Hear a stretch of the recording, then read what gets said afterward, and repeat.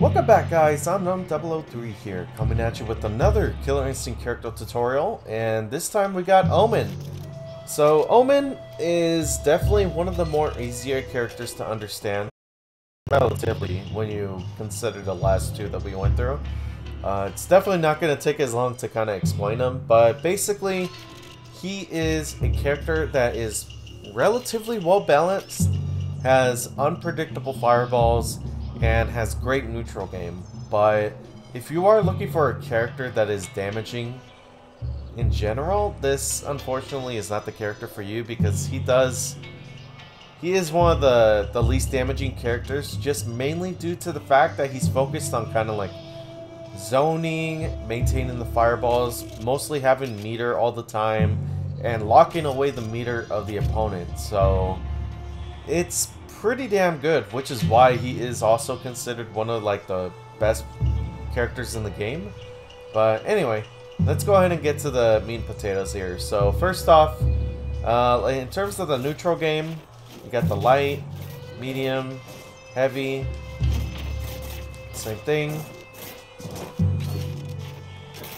You can see that like some of these moves are a little similar to Jago, especially the high kick here and even the, the low medium kick. And that is kind of by design because, well, you got the demonic spirit that basically haunts Jago there. But anyways, enough lore talk. We're talking about the game here. But yeah, that's basically the gist for like his air stuff or his um, neutral. He is hella floaty in the air, and that is for a good reason. But yeah, forward HP this is where you get the like the two hits.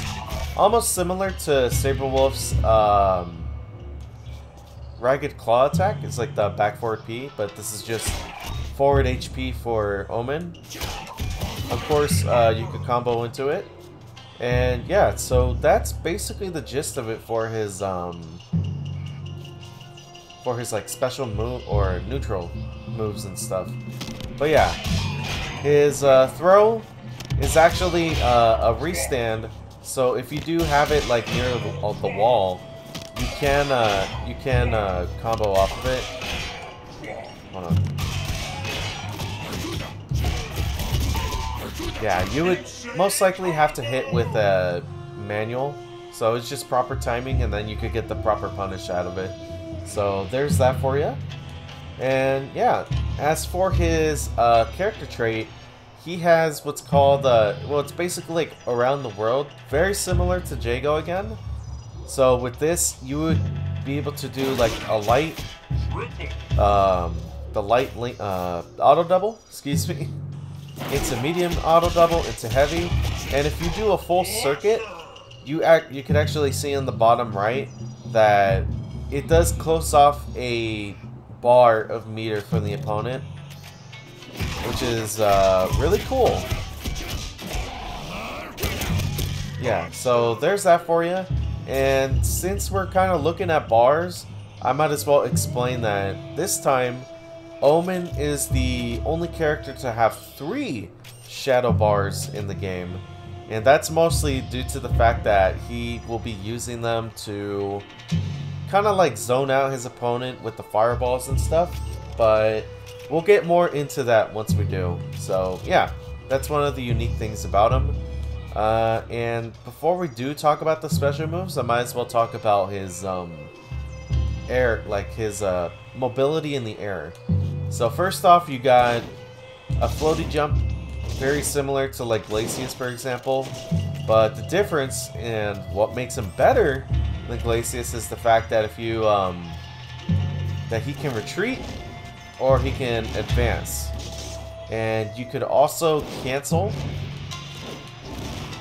into the retreat or advance depending on what side you do. So you think you're going to retreat, bam, immediately cancel into um, advance. And yeah, advance covers like very good range here. Very good for avoiding projectiles, for example.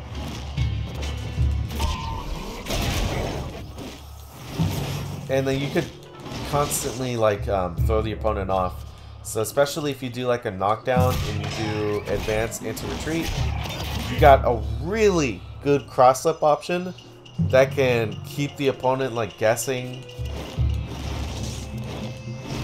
Yeah, so you got something like that, which is incredibly good. So there's that for you. And yeah, that's basically the gist of it for his arrow mobility.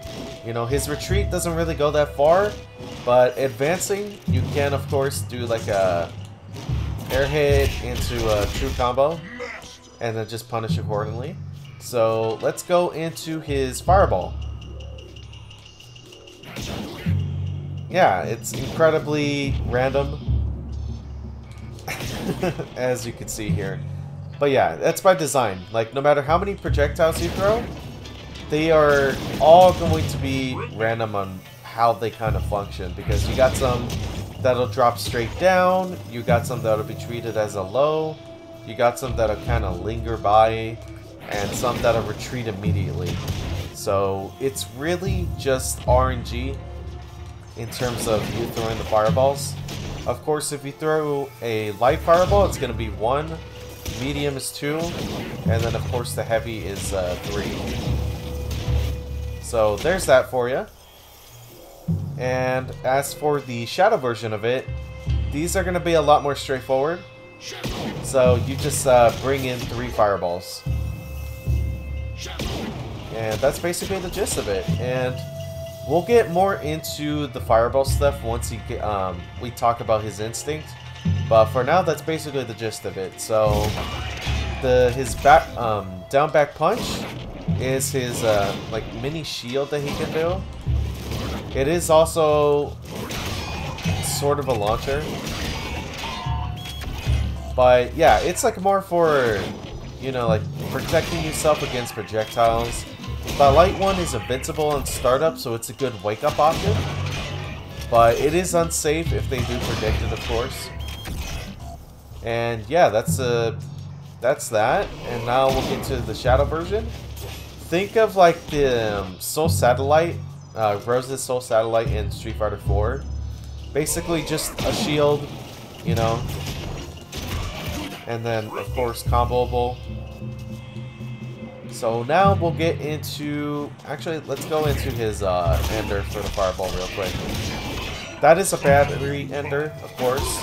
And if you do the um, down back punch ender, it is a launcher, um, so you can follow up, of course.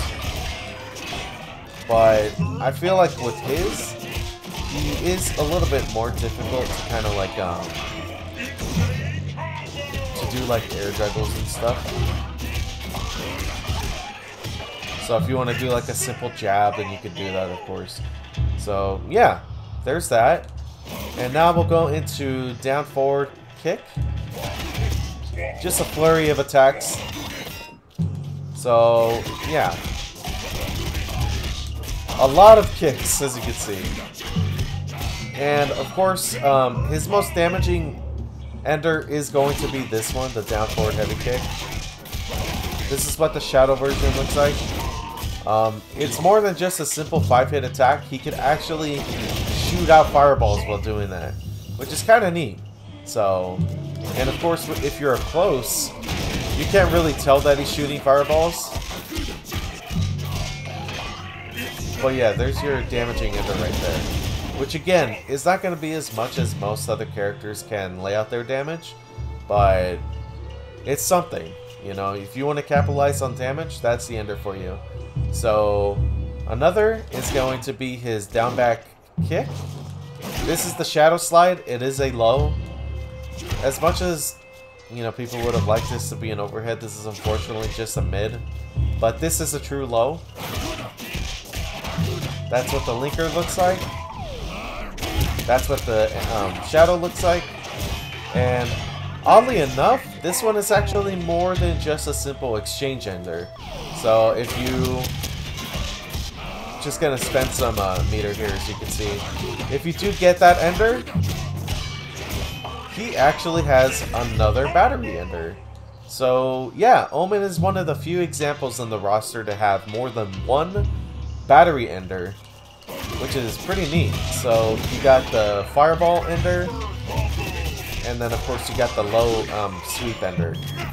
Those are both considered battery enders, so that's essentially one of the reasons why he will always have meter because for one, he's got two battery enders, and two, he is essentially always gonna have like fireball attacks or in in his arsenal. Like it's pretty wild, man.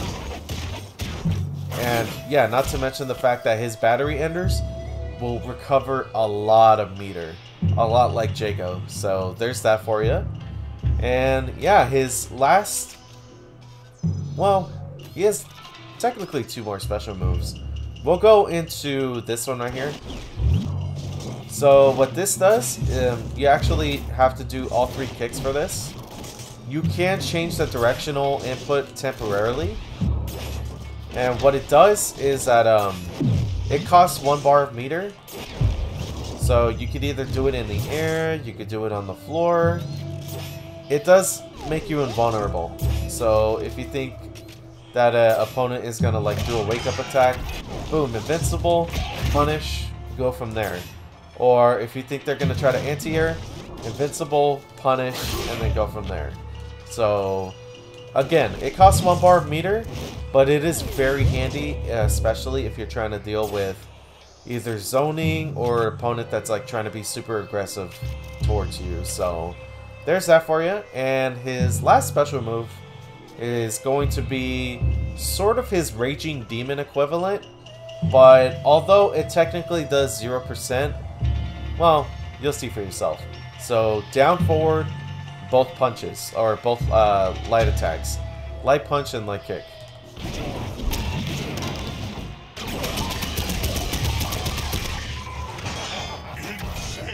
Yeah, so there's that. And of course, if you get a punish, you got yourself a 100% kill right there. Especially if they don't regain any like um, of their potential damage back. But anyways, that is a command grab and it is slow. So if an opponent is doing something that's incredibly unsafe, you can punish accordingly with this. But, again, you need all three bars of meter in order to do this. So, be careful with how you use it. Otherwise, yeah, you got an easy kill for Omen. So, yeah, if you want to just consistently like use battery enders to kind of build that up and then eventually use it, there you go. But it's not great range, of course, as you would expect from a command grab. But it is incredibly dangerous if you do connect with it. And, of course, like, if you get another punish, and you do, like, a quick combo into the ender, it will definitely leave a mark. So, yeah, that's, I believe, the basis of of Omen aside from his instinct, so let's go ahead and talk about his instinct. Okay, so he's a lot more stinkier, as you can see. But, yeah, in terms of a fire, in terms of his fireballs, excuse me, he will actually shoot an incredible, or an additional fireball, depending on what button you press. So, instead of one, you're gonna get two with his light, and instead of two, it's three, and then vice, you know, etc., etc. So, basically, it's heavy. He's going to be shooting four. And another additional trait to that is that uh, if a fireball does hit, he will lock out an opponent's bar of meter, as you can see on the bottom right. So it's a very good trait to have. And it gets locked out for a good like 10-15 seconds, which is an incredibly long time for the opponent. And not to mention, it doesn't do just that, but you do also get two additional frames of recovery for all of your attacks. So it makes you basically a little bit quicker as well.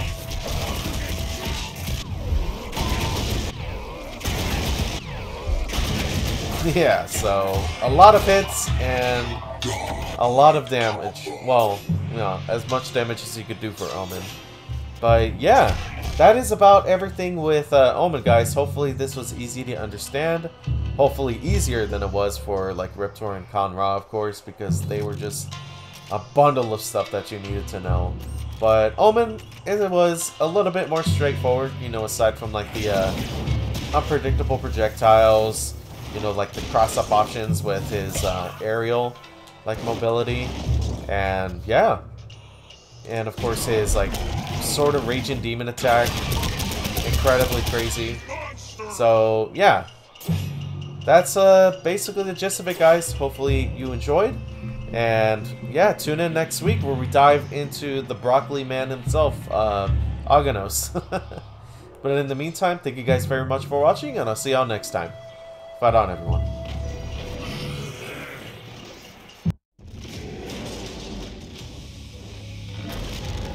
Bow before the Herald of Gargos. Bow before the Herald of Gargos. Ready. Fight! Supreme